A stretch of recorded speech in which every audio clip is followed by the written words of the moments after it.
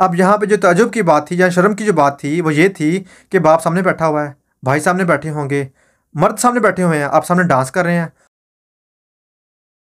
पाकिस्तान और दुनिया भर में देखने और सुनने वालों को अतीक अहमद का सलाम। दोस्तों, मेरी अभी की जो वीडियो है, जो सहरजात एक टिकटॉकर है, उसके बारे में है। अब यह सबसे पहली बात यह है, उसकी शादी हो गई है, अल्लाह ताला करे उसका नसीब अच्छा हो। इसी के साथ अब आगे बात करते हैं। तो यहाँ अब बात यह है, मैं आपको वीडियो दिखाता हूँ, उसको देखने के बाद बात करेंगे। तो चले चलते हैं इस वीडियो की तरफ़।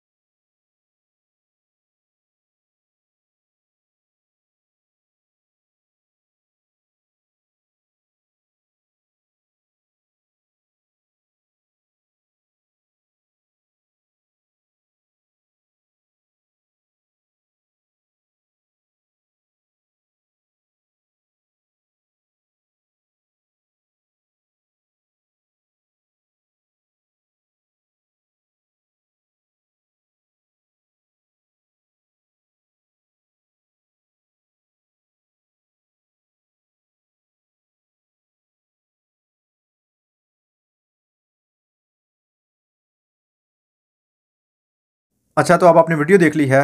इस पर बात करने से पहले मैं यहाँ एक बात कह दूँ कि इससे पहले जब इसका निकाह हुआ था, तब मैंने इस पर वीडियो बनाई थी। तब मैं इसके हक में वीडियो बनाई थी, क्योंकि लोग इस पर तनकीद कर रहे थे और जो गंदे किस्म के लोग थे, वो उसके बारे में बातें कर रहे थे। जो अली था, उसके साथ जोड़ रहे थे और पता नहीं किस किस्म में बातें कर रहे थे। खैर, तब मैंने इसको डिफेंड किया था। लेकिन अब जो वीडियो आपने देख ली है, अब यहाँ पर मुझे कुछ ताजुब हुआ है देख के कि लड़की का बाप सामने बैठा हुआ है और लड़की डांस कर रही है। ये कौन सा कल्चर है? क्या ये हमारा कल्चर है? क्या ये इस्लामी जुमहूरिया पाकिस्तान है? जहाँ पे एक बाप बैठा अपनी बेटी का डांस देख रहा है। अब हैरान कौन तौर पे लड़की डांस कर रही है, किस किस्म का कल्चर पेश कर रहे हैं हम लोग? तो अब मुझे समझ नहीं आई कि किस किस्म का ये बाप है, अपनी बेटी का डांस देख रहा है, उसके बाद इमोशनल हो रहा है।